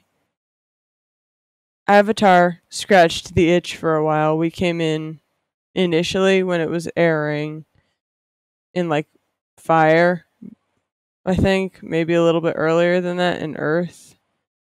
But we were there for the for the grand finale. It was hype. But at the same time, I'm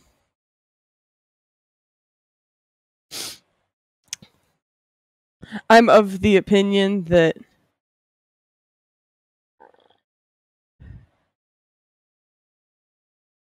I'm of the unpopular opinion that I didn't really like Korra at all.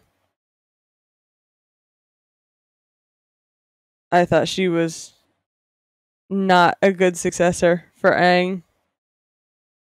I did not like her show. But that's my opinion on that.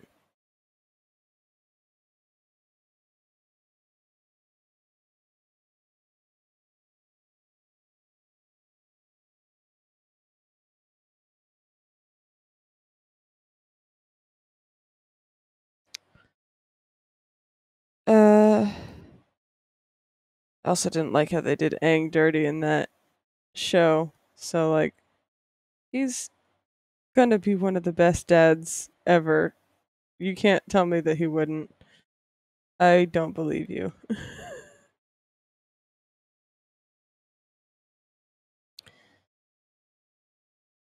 but yes, different talking for me.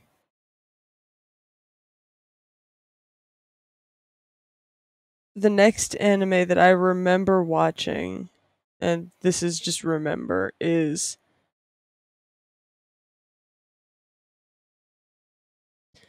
was a really weird anime that I was pretty sure we'd me and my family had watched on Netflix. Uh and it's really weird. It really, really was exceptionally weird. And it was called This Ugly Yet Beautiful World. And it basically talked about extinction events, had a boy turn into some sort of primal fighting force to to try and fight off the actual embodiment of an extinction level event. He was green. He was like it was really weird, but I enjoyed it immensely for the fact that I did not have any other anime to watch.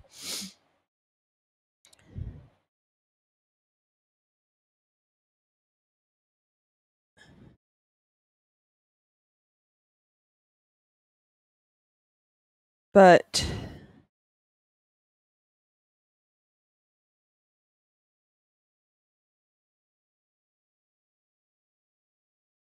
that started the the I want to watch more anime hunt again for me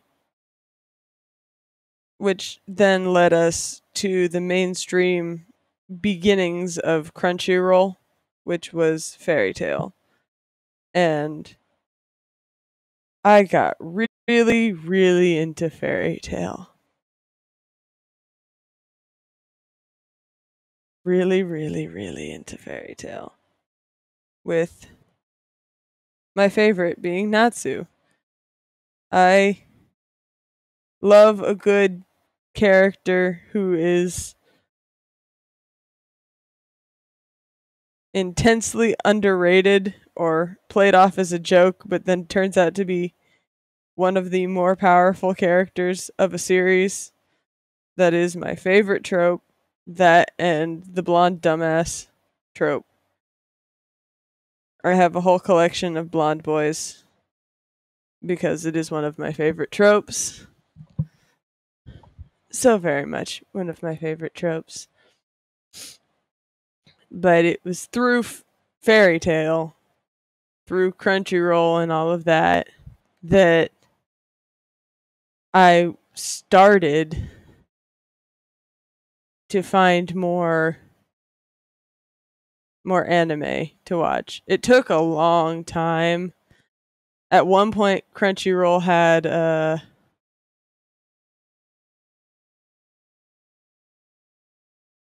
a channel on cable TV I believe that I only found as it was uh, being dissolved. Oh yeah, it was it was Funimation, my bad. Funimation was the the new hotness for anime at the time that we were getting into. My bad.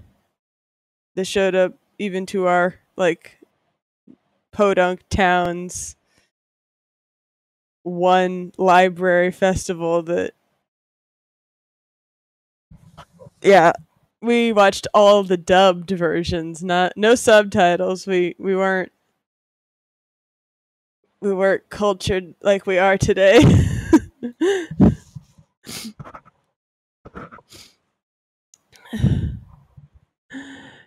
but yeah. It was Fairy Tail next that caught my attention. And then and for a while it was only Fairy Tail.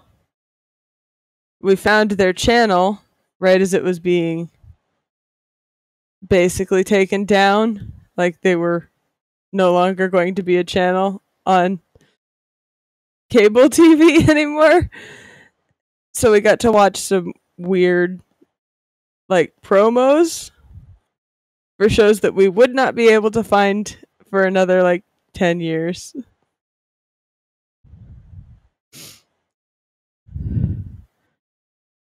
But that's also when I started getting back into like regular TV animation again.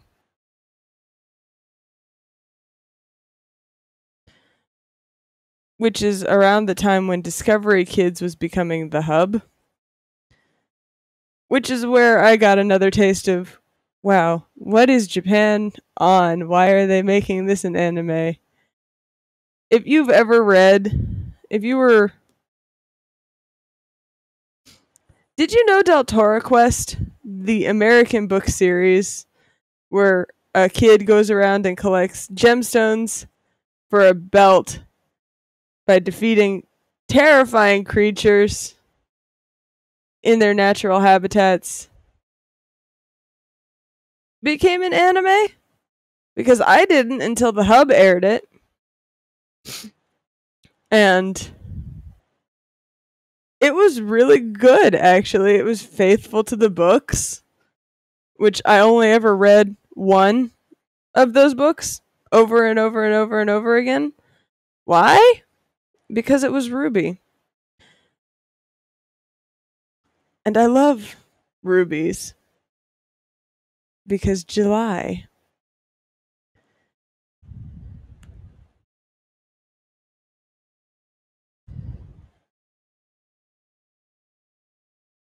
But yes, Deltora Quest is an anime that exists and is actually really good.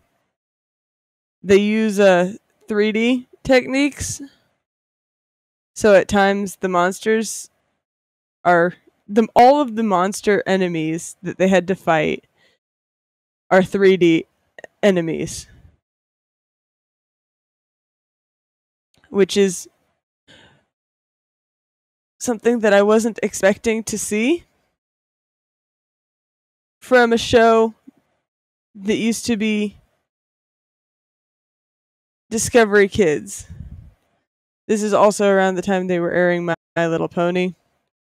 And technically, that's what I was on the hub for because I wanted to see that reboot, reimagining, re whatevering that it was on. I never got super into it. But I did get super into Deltora Quest, which I was not expecting.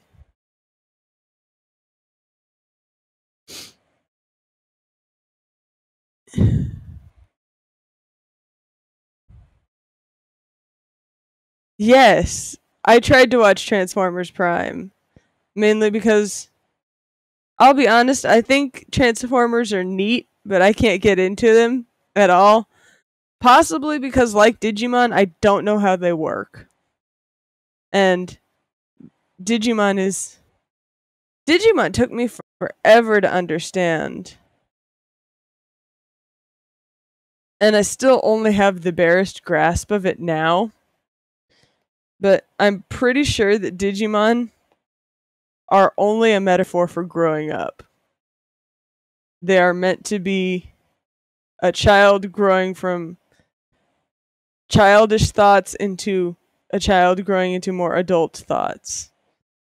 They're a metaphor for growing up. But if you want to explain to me what Transformers is about, I would love to hear it. I'm pretty sure there's more to it than that eh, Coop. Because if it was just that, I'd understand it easier and have an easier time of getting into it. That's the truth. That's what Power Rangers is. I'm pretty sure there's an epic debate of morality and what is good and what is bad. And how do you define it and why is it this and why is that that? because I've seen I've seen the comics coop.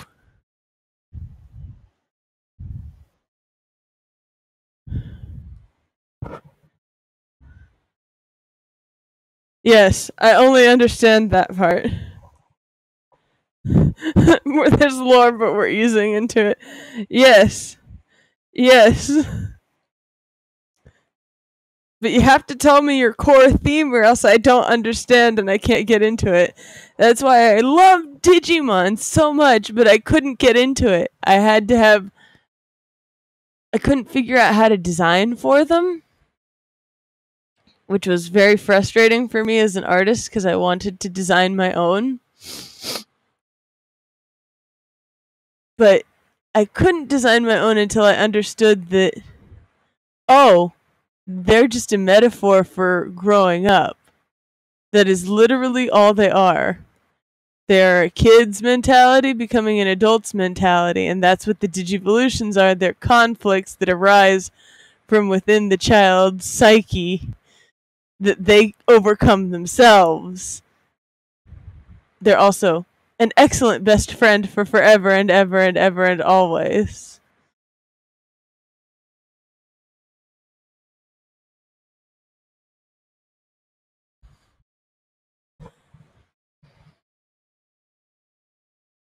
All right, now we got all of this lined out. It's time to color.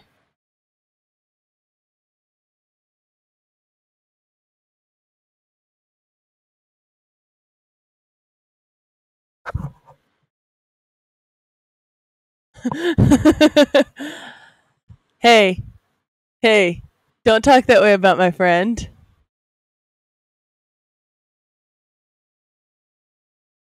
Don't do it.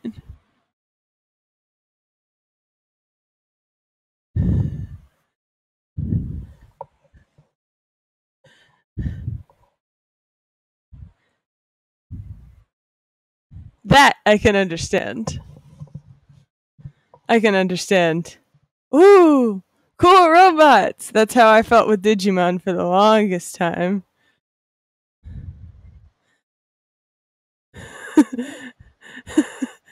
yes. I'm guessing you're talking about Transformers again, but I I'm over here going, "Ah, yes. She's going to go watch Captain Planet now."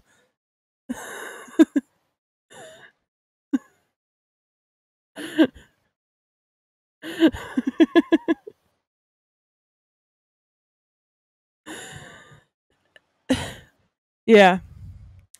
I completely agree with you. There's just there's a lot of weirdness with Netflix, especially with their own original shows that they did. There's I've seen so much about how they're just like Okay, I'll be honest. I tried to get into Ninja Turtles and I got into the 2012 series, but I haven't been able to get into any other series after that.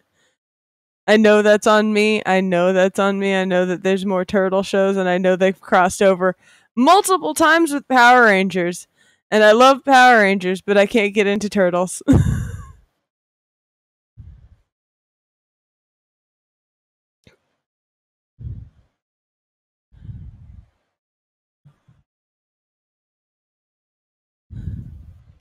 I've heard lots of good things about Rise.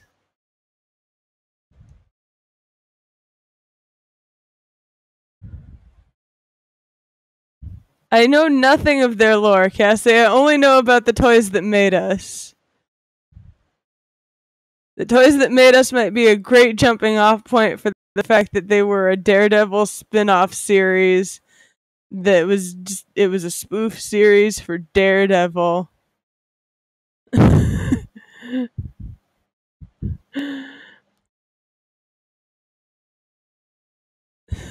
That's enough. uh,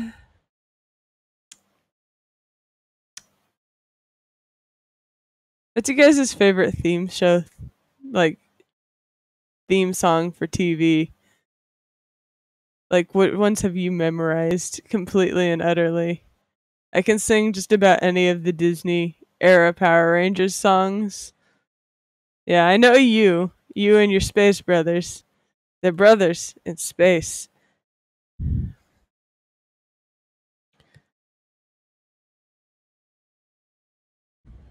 Alright, looks like I need to fix that line somewhere here. Where, where, where, where, where, where, where, where, where, where? There.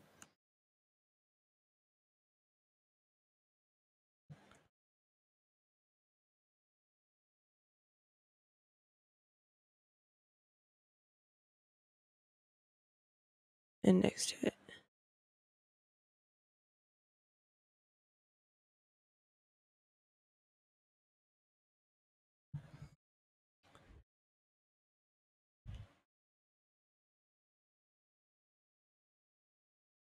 I'm intrigued, Coop, because I don't know if I've ever heard that theme song.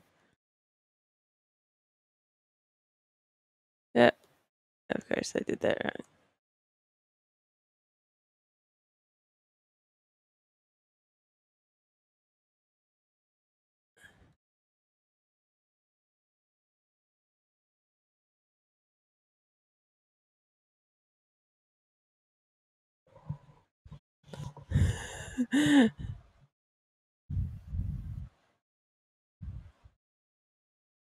Ah, uh, I see.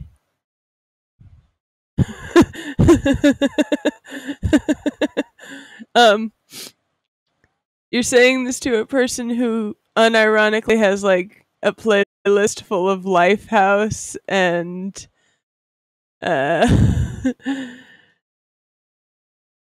Three Doors Down and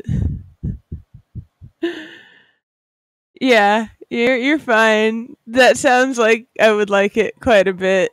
Like no joke. that sounds like something I would enjoy completely unironically. Just as music. no, no, I don't, Cassie. I keep saying that. Fairy. I don't like Nickelback. I had like one song on there on my playlists and then I got tired of it. It's Lifehouse. Lifehouse sounds sort of like Nickelback except their their their lyrics are so positive even though it's angsty rock.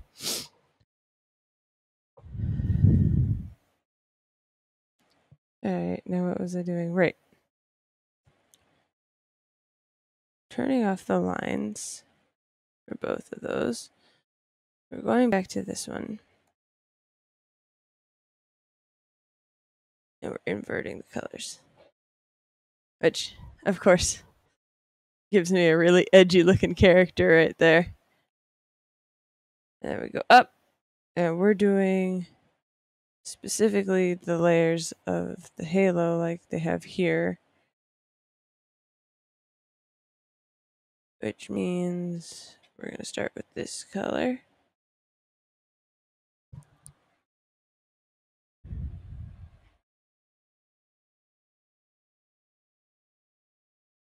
Nice. I am extremely eclectic in my tastes, much like my my my entire family. We we watch what we like and then we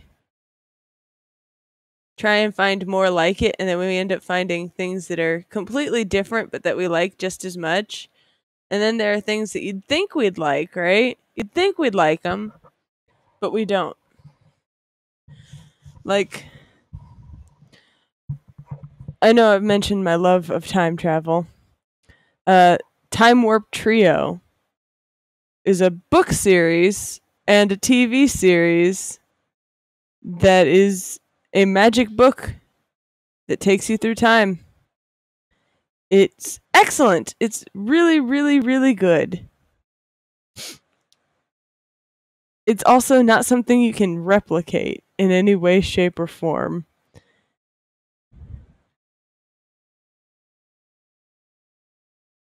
Like, you could try and tell me there's another show similar to it, but it's just not going to be the same. It's not Time Warp Trio. That's not. It's not how this works. You see.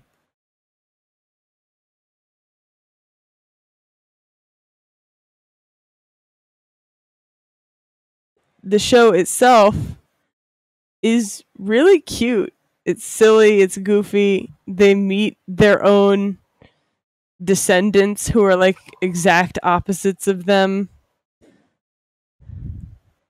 It's got a, a really fun premise. Ah, that would be why it's bad. Got it, got it, got it.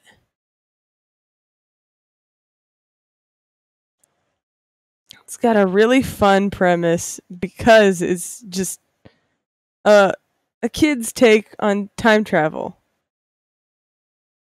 There's no consequences because they're going back and doing things that have already happened, but they're definitely basing it in the thought of time travel as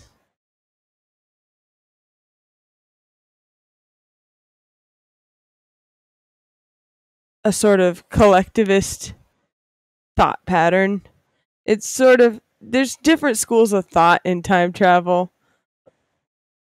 And my personal favorite is the everything that's happened has already happened. And even if you went back in time,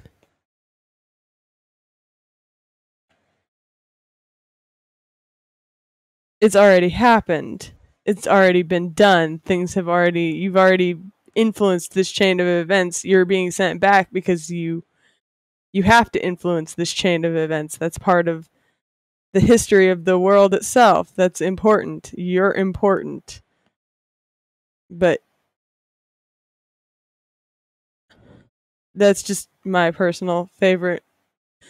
There's a bunch of different philosophies on time travel that all almost all of which I agree.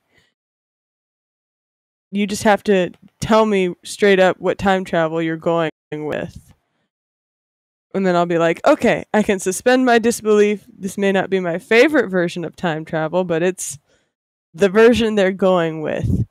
So I guess I guess I'll go with that. What's your favorite version of time travel? Do you like the time travel where they completely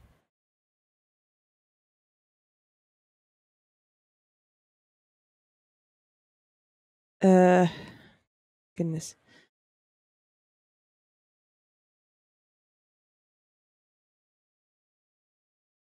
have an alternate timeline created from their actions? Or do you like the time travel where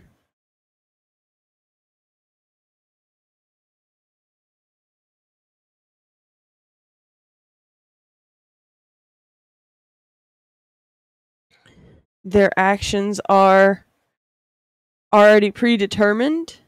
Or do you like the time travel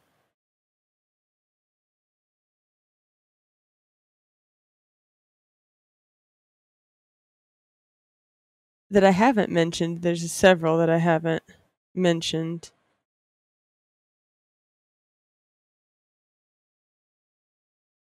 I love these types of getting to know you games because nobody asks questions like this But they should because these are the important questions. This is how you determine whether your tastes match or how you can recommend media to people. Like I've watched Looper that Unfortunately, Coop, that means you don't really like a whole lot of time travel because a lot of them is thinking time travel involves math. Timeline math. Darn. but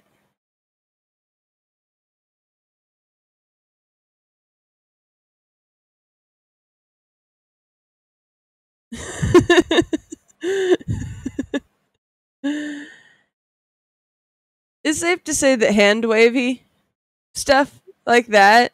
Like they time traveled because they could. Thought process is actually a fairly good one. I enjoy that one quite a bit as well, just because of how just silly it is. So I I love almost all time travel, if you can't tell.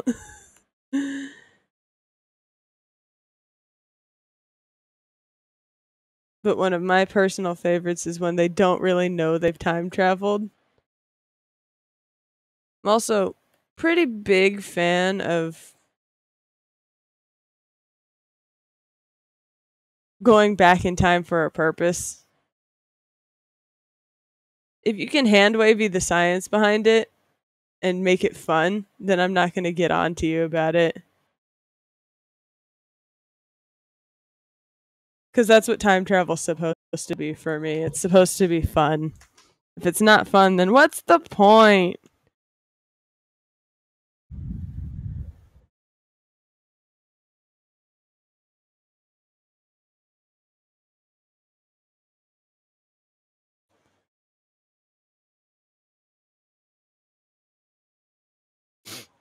All right. Now I just got to make sure that I get this part up here. because I didn't do the eyes and I need to go back and do those too.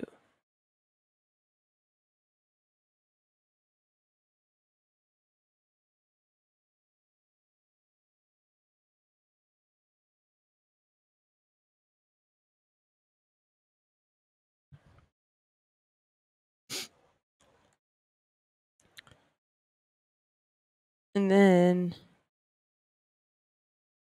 then we'll be cooking with gas and I can start doing the final touches on this particular piece.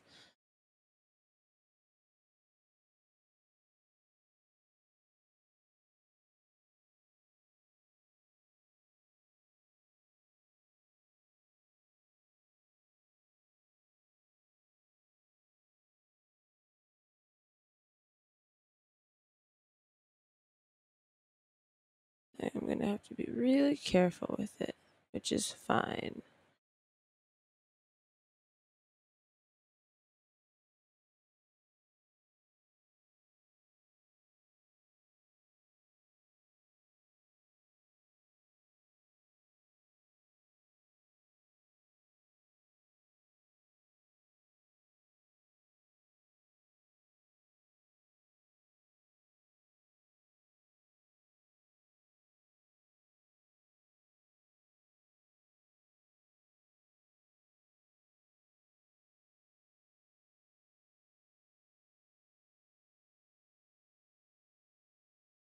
Yes, stuff like that. Okay.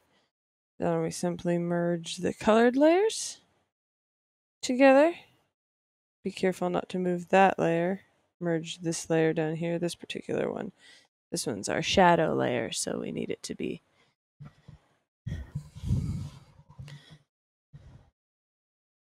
we need it to be different.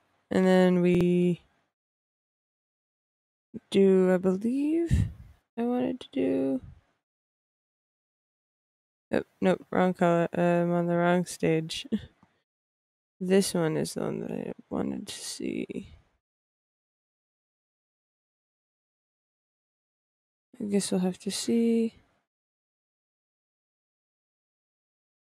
Mainly because I don't want it to be too visible. I just want it to make it stand out from the white. That way, when I turn this on, you can see the feathers, at least faintly, in the wing where I drew them in white.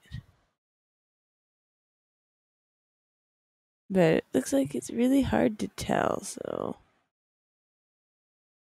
maybe turn that back up a little bit.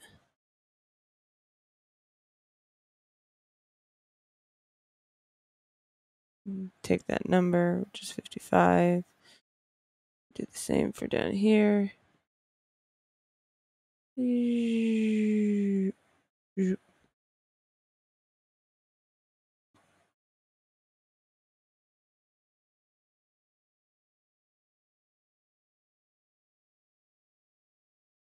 All right.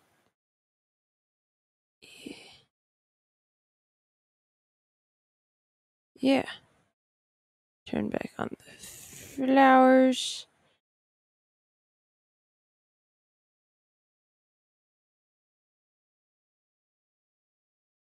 And we go to this layer, we take our eraser, we make it small. So I think, I think this is too much color here.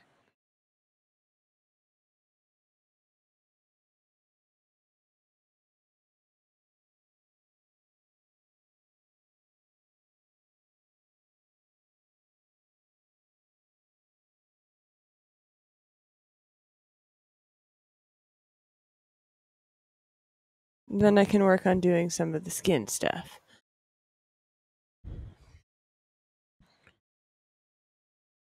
Almost done. Skin and hair is next, I think. Because the hair is white, I do need to add stuff to it.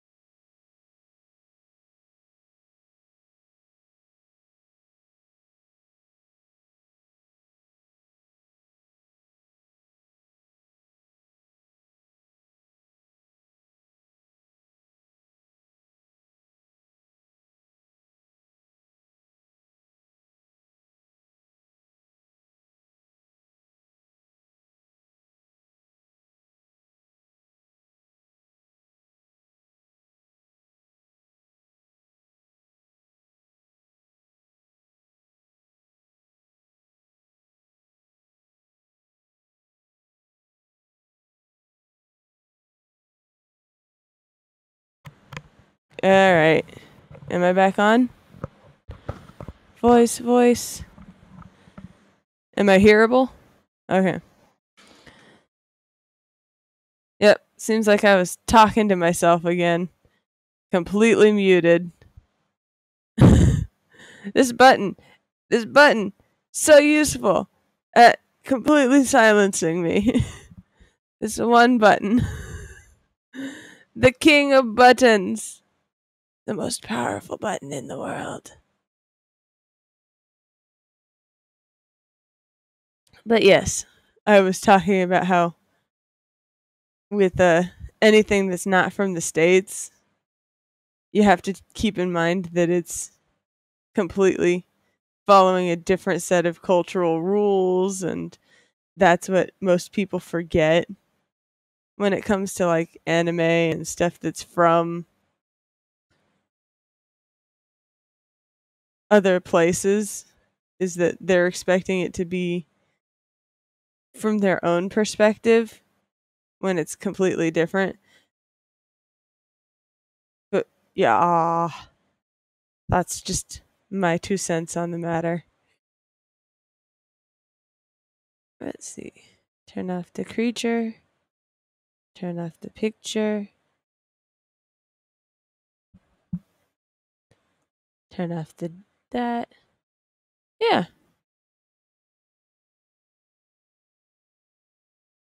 I think that's a that's a pretty good done photograph. Let's background color and make it like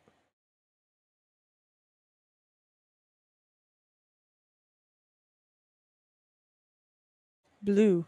Blue sky. Maybe a little bit darker. Darker blue. Just to make it stand out a little bit better. Yeah,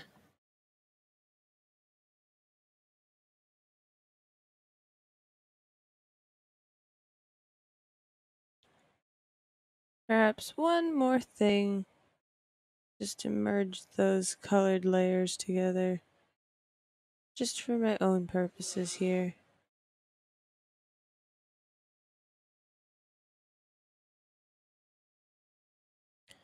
Take my selection tool, take take this perfectly, copy and paste it.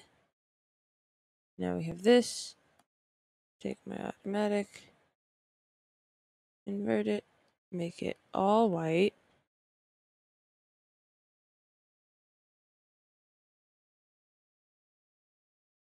Put it under this select this one.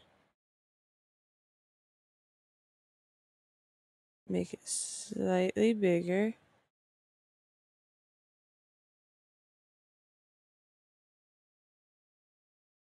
Gaussian blur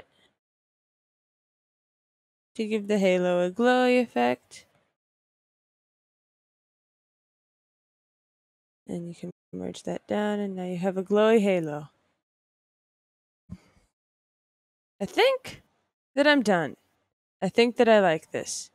Which of course means I go back to my gallery and I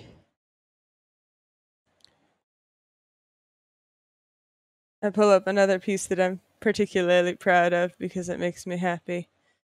it was for Coop's birthday. I enjoyed doing all the Pokemon in here. It was very fun.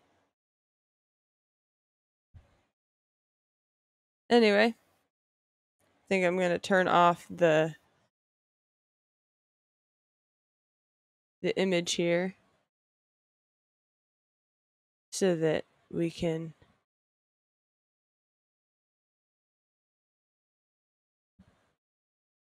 just not worry about it.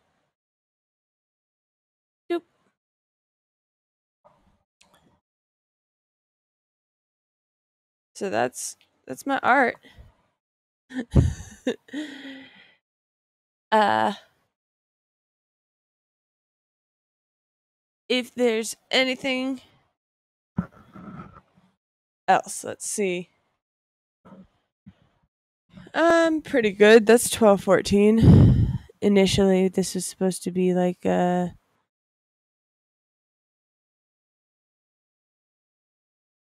uh, one and a half hour stream. Seems like this is good. Seems like it's a good place to end. All right. I think think I'm good for now.